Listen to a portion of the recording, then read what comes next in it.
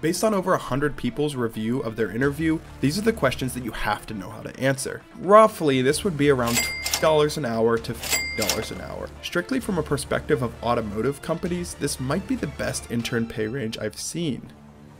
In this video, I'll be covering everything about a Ford internship, including information like pay, benefits, and things you should know before getting an interview. After making my video about my Boeing internship, someone from Ford reached out and basically shared their experience in pretty heavy detail of everything they went through as a Ford intern. And of course, to stay consistent with the rest of the videos in this series, I did a ton of background research and read so many reviews to the point where my brain could no longer process them. Also, to change things up a little bit, I'm going to be reading some reviews at the very end of the video where people share their real experiences with their Ford intern internship. If you have any other questions about early career development or just want to chat, you can always reach out to me on LinkedIn and connect, and I will make sure to respond back. Without further ado, let's get into this internship at Ford.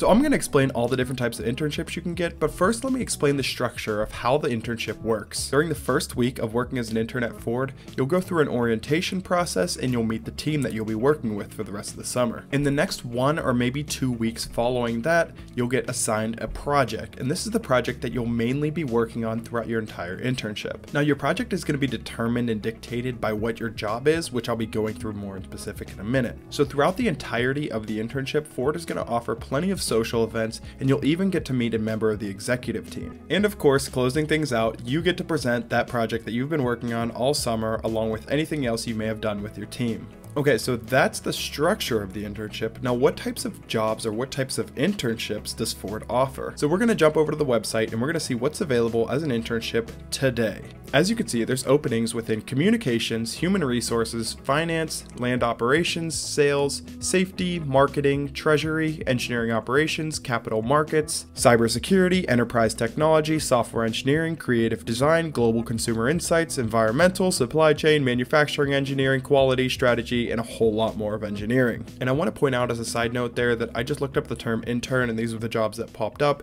There may be more beyond this. So what I just went through was Ford's specific job site. You should apply directly on this site and you can do it simply by googling Ford jobs and going through these links as I am right now. When you click on this link you can search internship or filter your search by location and type.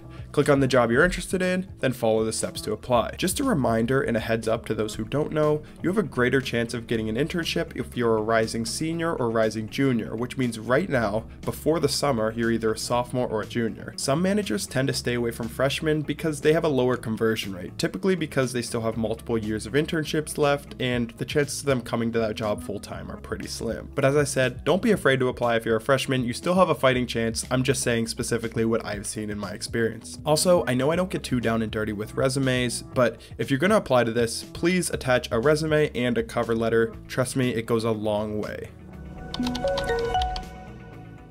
Glassdoor is a pretty valuable tool which I've used to create a pretty good picture of what the interview is going to look like. So first off, of all potential interns that interviewed at Ford, 80% of them said they had a positive experience. One thing that was surprising to me was that over half of the people who got interviews were actually from campus recruiting events. Compare that to just 28% of people who got interviews who applied online. Now this is very different compared to normal, where if you take the group of all the people who got interviewed, normally about 60% or so applied online. And in terms of a difficulty rating, it got a 2.7 out of 5, meaning it was pretty average in difficulty. Based on over 100 people's review of their interview, these are the questions that you have to know how to answer. Why do you want to work for Ford? What is your interest in the automotive industry? What do you hope to achieve out of this interview? Describe a time you had an innovative approach to solve a problem. Describe a time when you were in a difficult group and had to solve a problem. If I were you, given that they were the most common questions asked, I would run through those five questions and have short answers ready just in case they pop up in your interview. And a majority of the interviews I saw for internships were one step, meaning you would only have to go through one interview to get the job. Most of the questions asked seem to be more situational or about your background, meaning primarily they're going to ask about your resume, and a few behavioral questions. And then, of course, in terms of technical question, this all depends on what your job role is going to be. If it's something in business, generally you'll get less technical questions. Compare that to a software engineer who will probably get more.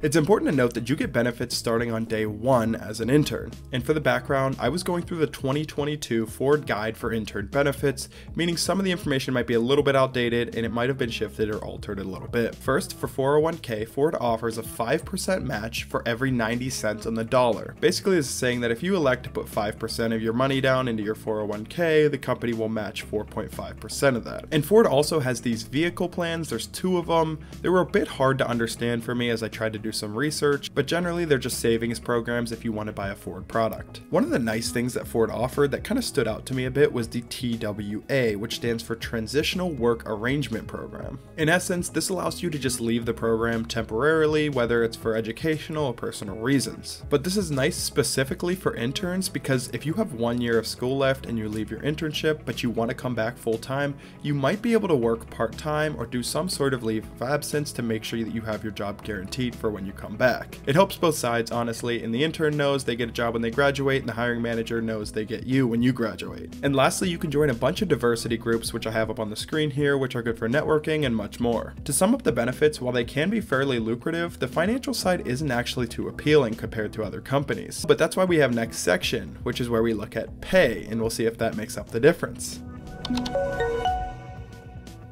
According to Ford statistics, as of 2022, the average pay range per month was from 3,000 to $9,000. And given that an internship is three months, this would mean that you would get paid somewhere between $9,000 and $20,000. While that information is definitely helpful and nice to know, how does it translate to hourly pay?